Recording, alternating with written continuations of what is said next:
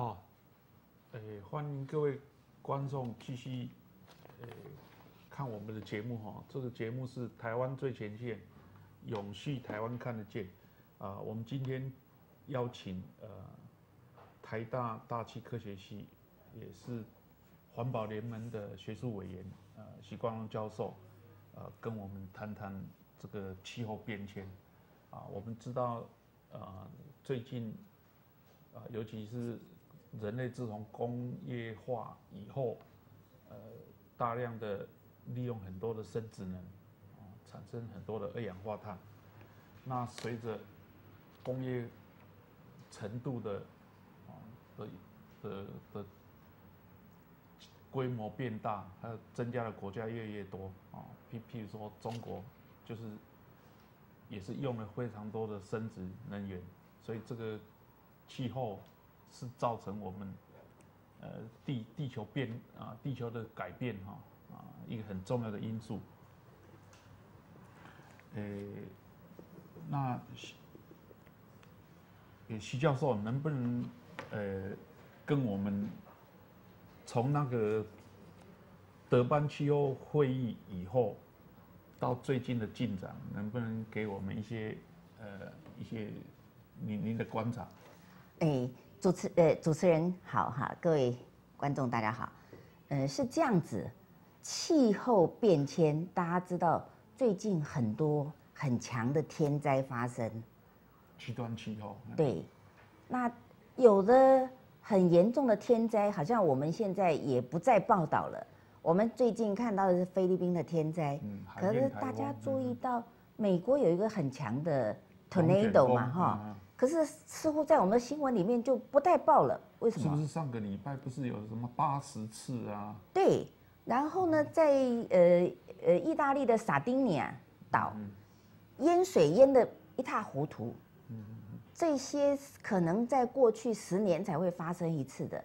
我这个在今年，哎一几乎都是同时。澳洲前一阵子大火，澳洲才开始春天哦。夏天本来是比较干、比较容易烧火的，才刚刚进入春天就开始烧大火。那气候变迁呢？其实这个国际的气候变迁协商现在正在进行。好，从十一月的十一号到二十二号，那会不会延期？不知道。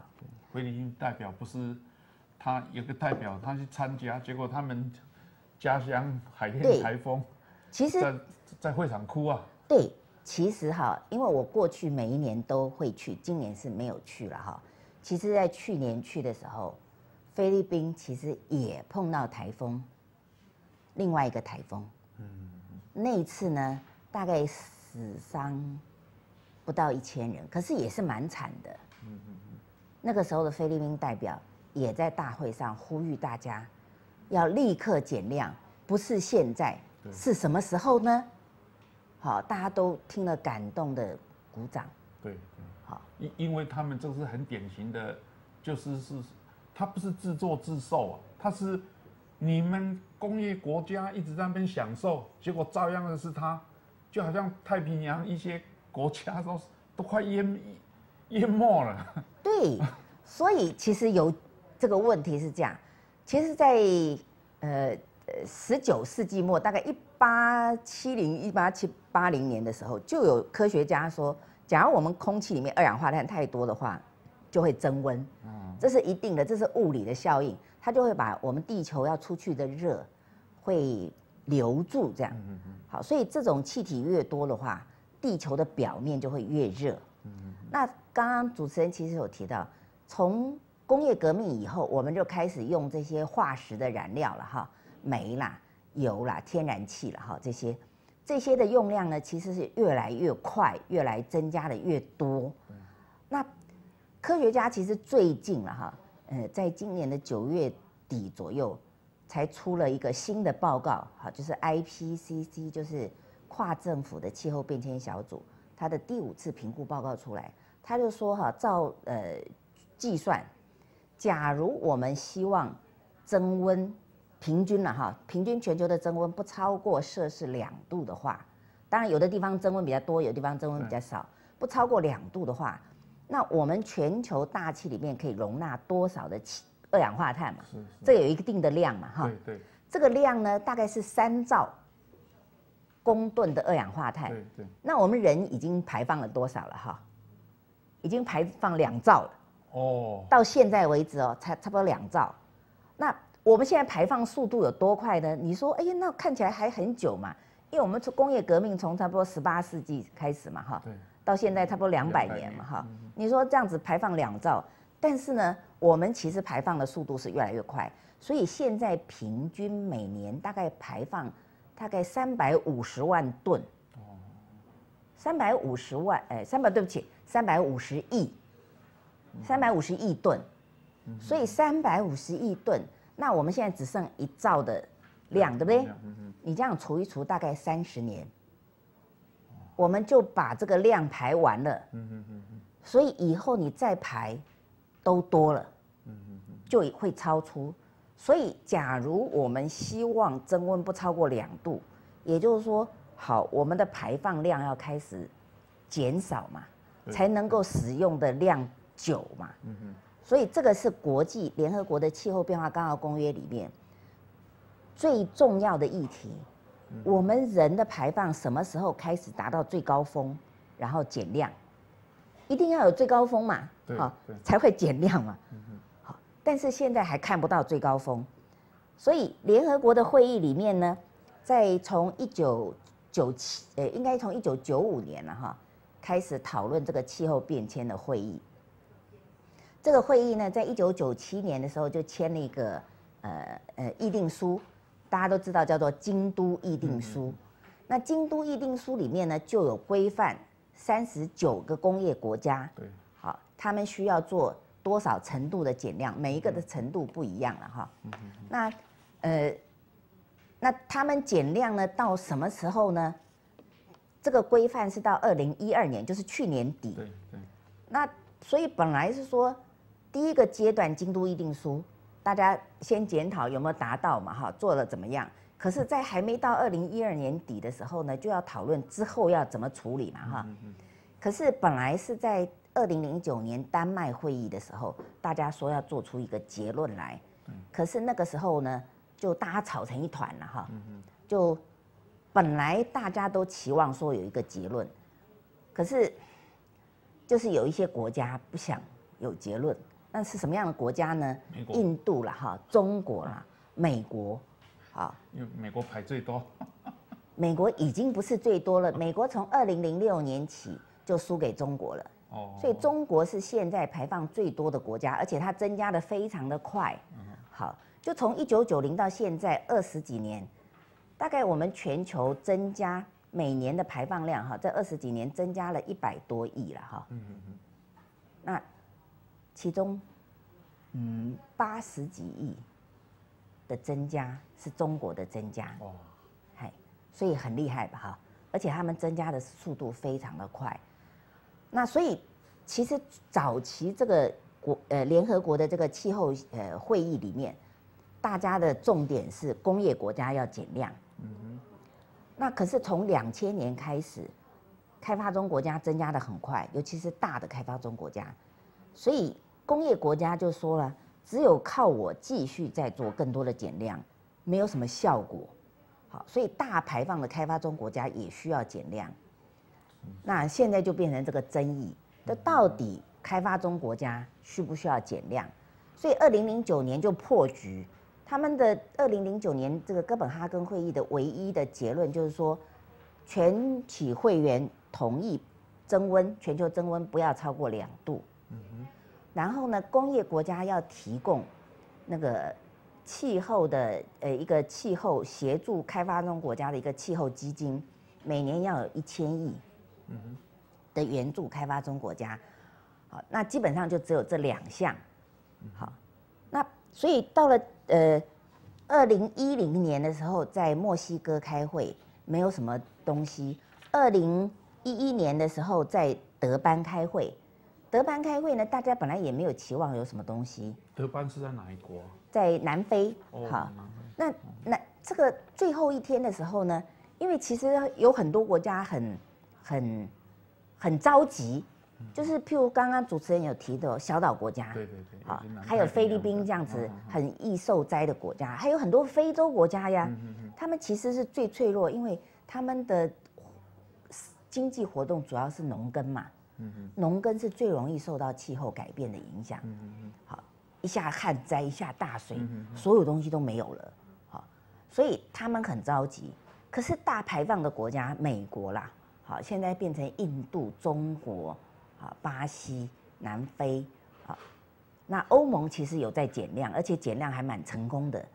那当然还有一些国家还在增加，好，可是这个这个协这个呃这个协商里面呢，似乎都没有进展，所以在德班会议的最后一天，本来大会的主席南非的主席就要他本来都有一个结论嘛，哈，每一个会议都有一个结论，他都准备好结论。那在这个会议里面呢，就欧盟啦，哈，小岛国家联盟啊，还有那个极低度开发国家，就是呃非洲大部分了哈，还有一些比较贫穷国家，好等等，就开始鼓噪了哈，鼓噪说这个这个会议的结论毫无呃任何实质意义了哈，都没有呃减量的等等等等。那诶，这个大会主席也不错，他就说啊，那我们回去再重新讨论。所以这个会议又加开了三十六小时哈，哦 几乎都没有睡觉。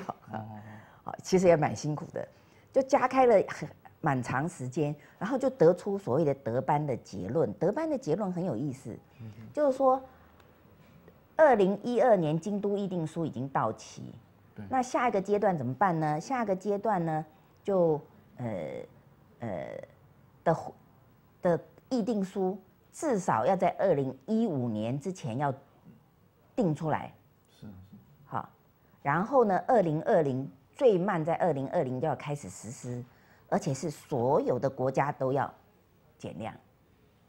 不过这个就是很困难，执不是行就是因为没有强制性啊哈。不是不是，这个德班会议的结论是通过的哦，因为这个气候变迁的这个会议不是靠投票，它的会议都是共识决，所以这个是所有参加国家的共识。既然做成会议的结论，就是那个时候的大家都同意，二零一五年的时候一定会有一个新的呃议定书出现。这个议定书是针对所有的国家，然后二零二零以前要开始运作。嗯好，那这个会议结论之后呢，大家就诶，很多人就觉得很兴奋，所以现在都为了要二零一五年的新的议定书做准备，但是呢，还是有一些国家蛮抗拒的。因为其实美国最近几年哈，第一个它有一些减量的成果，第一个就是它最近发现很多页岩气嘛，天然气在产出同样的能源的时候，它的二氧化碳比烧煤少了快一半。所以美国很多的，因为天然气很便宜了，所以很多美国的燃煤电厂就关了，改烧天然气又便宜，好，二氧化碳排放又少，所以美国最近的减量还蛮成功的。然后它的呃交通运输里面有百分之十是用生殖的酒精，这个也不算那个也没有增加二氧化碳排放，所以它其实有在进行中。那现在其实大家所针对的问题就是中国、印度，尤其是这两个国家的排放一直在增加，都没有减量。好，可是这两个国家其实是最反对减量的。哦，好，当然还有什么样的国家反对呢？像澳洲了哈，澳洲为什么反对？澳洲是一个能源出口国，好，譬如说我们的煤，澳洲是出口煤的，呃，就是煤，呃矿，嗯对，铀矿其实不是主要，它主要出口的是煤，是最大宗，好，煤，所以它也不希望要减量，好，所以最近澳洲新选的政府说，呃，他要有很多的那个那个 对气候不利的措施了哈，这也是被大家批判，所以这这些国家呢，虽然在德班会议里面同意，呃，所有的国家都要减量，可是现在就开始找一些借口了，啊，说到底对所有的国家是不是一样？哈，是不是一样？啊，呃，那欧洲、美国啊这些先进工业先进国家都说，呃，apply to all，就所有的国家就已经不能区分，就不应该再区分工业国跟非工业国。但是呃呃，开发大的开发中国家，呃，就又有不同的解释了，所以又变成在争吵这个。好，所以到底二零一五可不可能有一个议定书出现？那这个是一个很大的问题。好，那另外就是财务了哈。呃，我们刚刚说，哎，在这个呃丹麦的会议里面，大家同意工业国家说每年要拿出一千亿美金哦。嗯好。那这个一千亿要从哪里来了哈？这是一个很大的问题。啊，呃，工业国家呢，你可以想象嘛哈，最近欧盟呃经济不太好嘛哈，美国其实经济也不怎么好。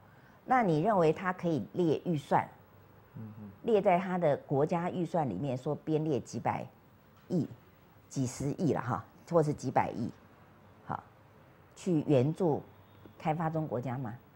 大概在国会里很难通过了。对对对。好，因为自己的经济情况都不好了嘛。他们就一直印钞票啊。不是，先不谈这个了哈，先不谈，就是你在国会里面，你印钞票，你再印，对，你自己会通货膨胀嘛？那你自己印钞票这点对不对了？哈，所以第一个就是说，假如要用预算的方式，其实在这些国家很难通过。好，那那你不从预算呢？工业国家是建议说，在这个因为这个京都议定书里面有规范嘛，哈，你可以用一些弹性机制，哈，交易啊，或者是一些机制去，呃，去去交换哈，碳排放权。譬如说去种树，是不是？对，譬如说种树了哈，那这个减少的二氧化碳，你可以去卖给别人，好，那这个卖的现在其实就有这个卖的交易的百分之零点二，好，你可以去。呃，做成基金的一部分，好，这个碳交易的钱的一部分手续费了哈，可以拿来作为这个这个放的。那问题就来了，这个你就要看交易的钱高跟低嘛，你你就未必会达到一千亿了，好，所以有这样的困难，所以大家其实还在争议这个到底要怎么来。好，那开发中国家就认为工业国家应该用预算。那工业国家就说应该用这个交易的手续费，好，所以这个到现在也没解决，这个钱非常少了。现在为止，虽然说每年要有一千亿，但是离这个还蛮远的。好，所以其实他们主要的争是在到底谁该减量？好，是只有工业国家呢，还是所有的国家要减量？另外就是这个协助开发中国家，譬如说协助菲律宾要怎么？防御以后来的更多天灾，好，这个钱就希望开发中国家呃工业国家来提供嘛，好，或者是他怎么训练他的人，以后可以去多呃节能呐哈等等，这个因为开发中国家大部分都比较穷，所以基本上呃是钱的问题，什么时候谁该减量的问题啦，主要的争议是在这里，就是吵吵吵吵了好几好多年，吵到现在这样。那你你觉得台湾的现况呢？台湾哈，呃，呃，台湾的现况是这样子，就要再回头去说国际的情况是怎么样。我们刚刚说我们呃已经排放了超快到三分之二可以容许的量了嘛哈，三兆我们已经排了两兆了，只剩一兆。那所以这个科学家的建议呢是说。假如我们用一九九零作为一个基准来讨论的话，工业国家呢，它在二零二零的目标是要比一九九零少百分之二十五到四十 percent 的排放。是是。好，那就是稍微多减一点，让开发中国家还可以多有一点增加的空间，这样。然后到了二零五零，就要比一九九零少百分之八十到九十五。那几乎都不行了嘛，哈。好，就是不然的话，就是全球到二零五零的时候，至少要比一九九零少百分之五十。那我们回头来看我们的目标了，哈。我们台湾的目标是二零二五年的时候，回到两千年，我们两千年呢是一九九零的两倍多，百分之一百一十、一百二十这样。好，我们的两千年是一九九零的百分之一百二左右，嗯好，增加百分之一百二。然后我们二零二五说我们回到两千年的排放，然后我们二零五零回到两千年除以二，就是比一九九零还多一点。好，那跟国际的公约，国际现在的预期其实差蛮多的嘛。国际是说，假如要增温不超过两度，全球要二零五零的时候，要比一九九零少一半。八十吧，你刚刚讲，那个是工业国家就是让工业国家减多一点，嗯嗯好，让开发中国家很穷嘛，嗯嗯它还可以有一些增加的空间。可是全球平均希望二零五零是只有一九九零的一半这样。嗯嗯嗯，那我们呢？我们是说，我们二零五零的时候还要比一九九零多。是啊，我们现在不是很多工业都都跑到中国大陆去了吗？所有人在列这些数据的时候，把我们都是分开来的。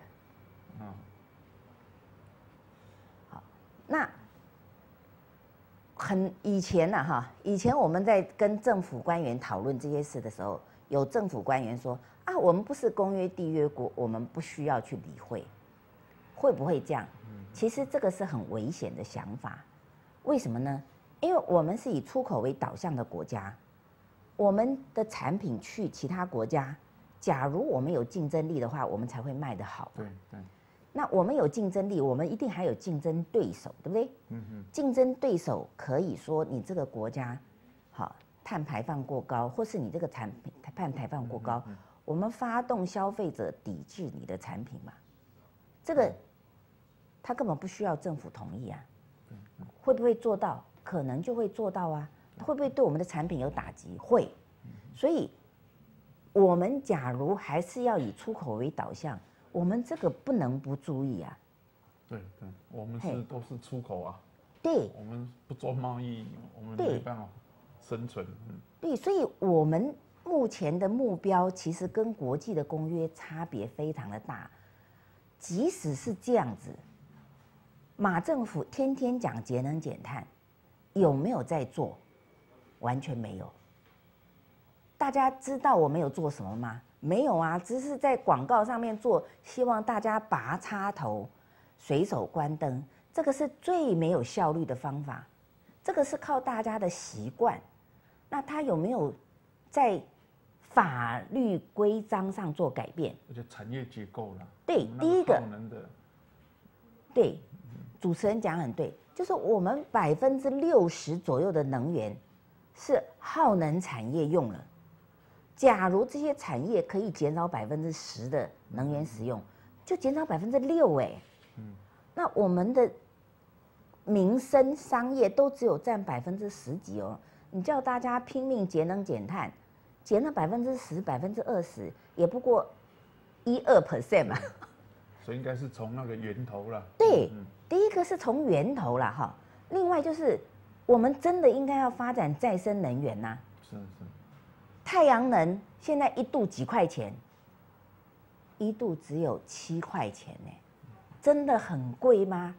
你想想看，我们现在一度付费已经差不多三块钱了，所以今天即使是十 percent 都是太阳能，影响有多少？不到，对不对？因为它只有多我们现在价钱的一倍多一点点嘛，所以十 percent 的太阳能对我们的电价有多少影响？你自己大家可以算一算，影响非常少，远不如我们今年已经涨了多少次价钱。我们涨的这些价钱跟再生能源发展一点关系都没有，这个是我们花很多钱去国外去购买，国外涨价我们就得涨价，还有我们的台电中油没有效率，我们也得为这个付出代价。所以，假如我们可以鼓励再生能源发展，今天我们可以把给外国人的钱留下来给我们自己人用，有什么不好？还可以创造很多工作机会。最近那高教授不是一直也在建议说地热吗？对我们这，个就是地热只要挖得到，就是其实这个反对再生能源的人，他都把它简化成什么？就是你今天太阳能可不可以供应这么多，或者是风力可不可以供应这么多？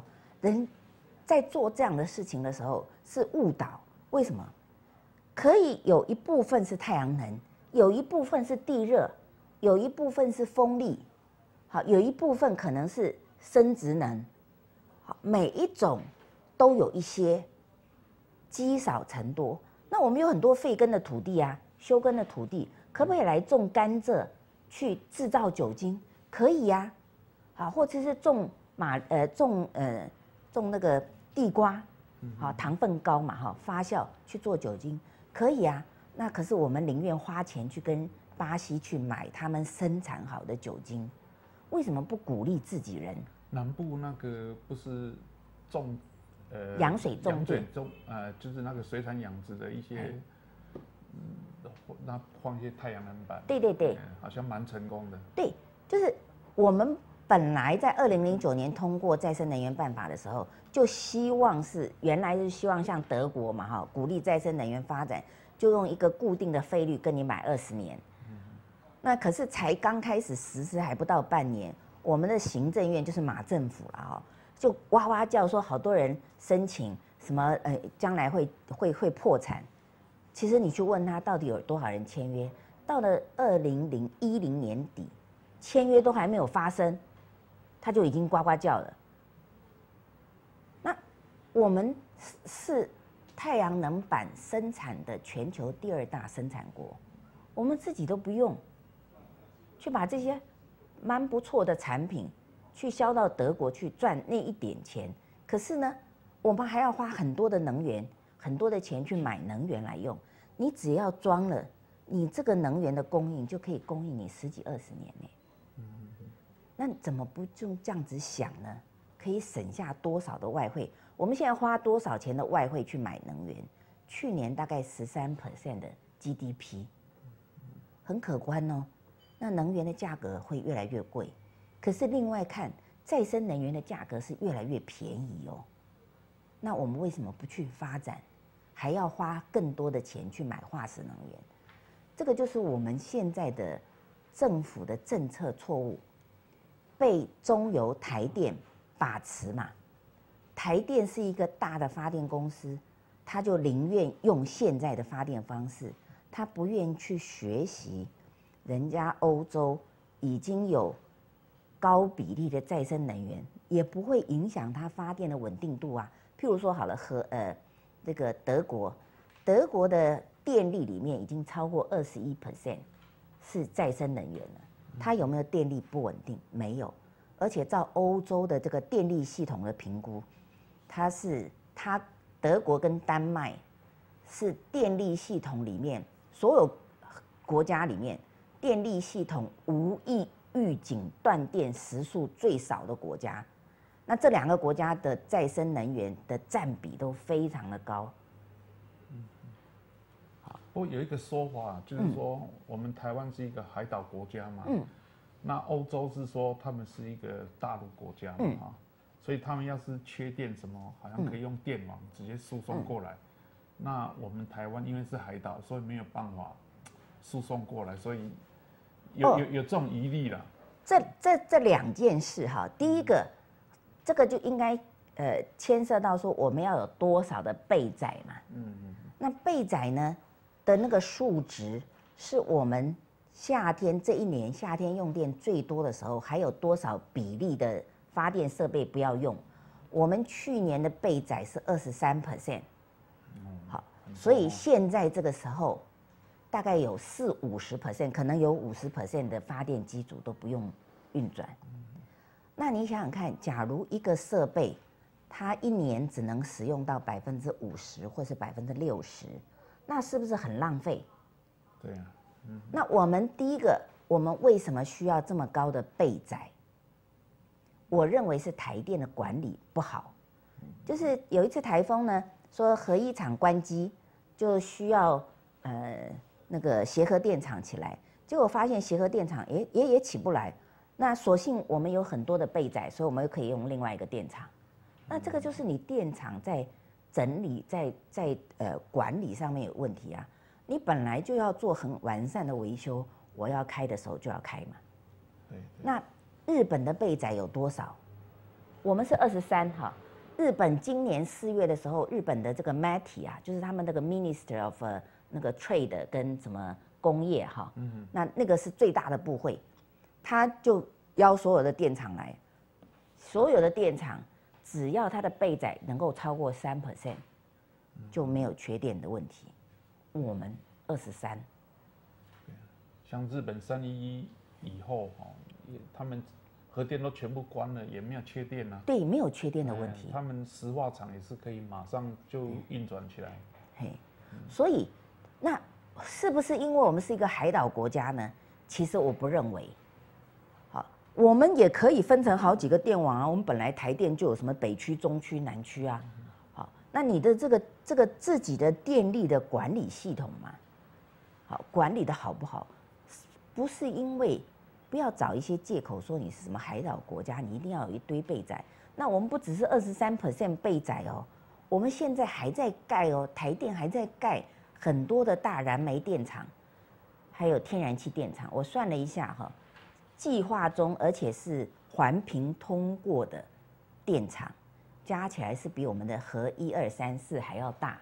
嗯，所以好，核四假如运也运转。这些所有的发电计划都做完，那我们的备载呢，可能就到了百分之五十了。奇怪，该那么多是要做什么？所以其实这个才是我们台电亏损的主要原因。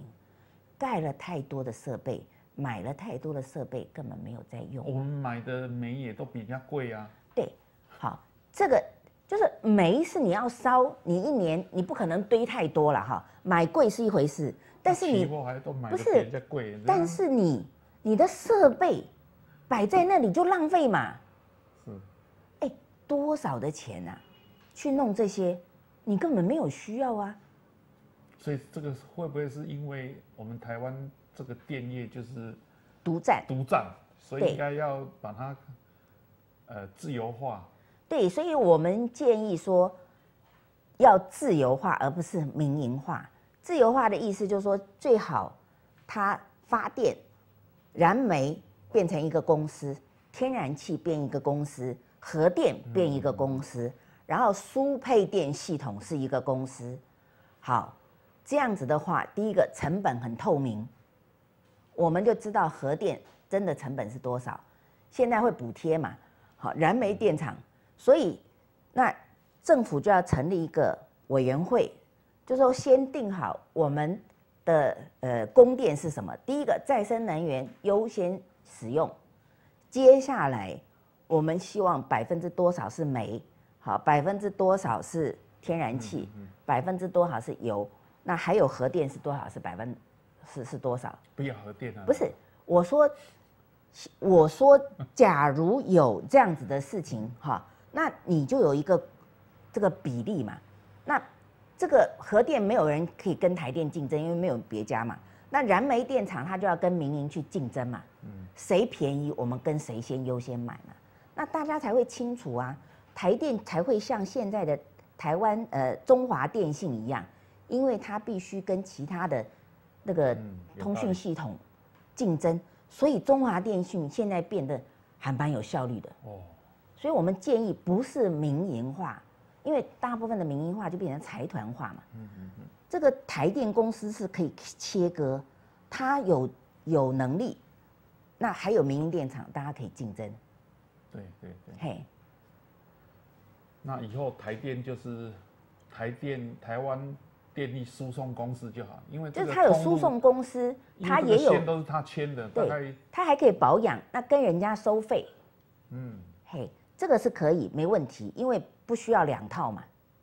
好，那可是他的燃天然气就要跟民营天然气去竞争，好，那他的燃煤就要跟民营的燃煤去竞争，这样。哎呀，不晓得马政府听得进去吗？嘿，这个是一个很大的问题啦。嘿，所以现在只有涨价，它就涨，我们就只得接受。好。那我们还有，你要讲这个海洋的。对，这个其实呢，最新的这个呃 IPCC 的这个评估报告里面呢，就有一个是海洋的这个改变了哈，海洋的这个，好，看得很小。那这个图呢是说，好，这个图呢是说，呃，从一九九零开始，海洋嗯下面的呢。下面的那个线是海洋的 pH 值的改变，好，酸碱度了哈。那上面呢是海洋里面的二氧化碳的浓度，海洋里面二氧化碳浓度跟大气里面是差不多的了哈。我们已经开始接近三百九十个 ppm，工业革命前的时候只有二百八十 ppm。那海洋的这个 pH 呢，还改变的还蛮显著的。那因为我们的主持人郭教授是。海洋的专家可不可以稍微讲一下海洋的这个 pH 改变呢？有一些什么样的影响？哦，这个海洋有几个功能呢？哈，其中有一个水，它这个可以比热还蛮大的，所以它能够稳定这个这个温度哈。你看那个水的温度的改变，不像那个天气改变那么多，像我们寒流来哈。那个九孔池，你到掉到那个什么十度几度，海水有时候还比那个空气比它温暖，暖和，所以那个不会不会冻死啊。那海洋还有一个功能，因为它很稳定嘛哈，所以它有储存这个 CO2 的功能。可是你这个 pH 一直往下降，就越来越酸化的话。它就储存 CO2 的能力就没有没有那么多了，它它它让 CO2 只好又又排到大气。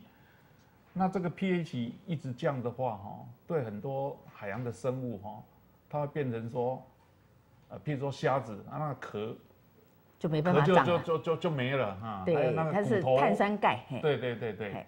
那整个这个连锁反应，哈，那整个海洋。就是会慢慢的，生命就会消失了，哎，那人也是生态的一部分嘛，所以它这个一牵动，那我们地球，其实我们应该正确讲是水球了，因为我们十分之七都是水，所以这样一个改变哈，整个地球就垮了。嗯，那我们今天很感谢呃台大呃许冠宏教授。跟我们分享这个气候变迁，他的个人的一些体认跟参与会议的，呃一些心得，还有对于台湾呃现状的一些建言。以上是我们今天啊台湾最前线永续台湾看得见，谢谢各位观看，今天到此为止，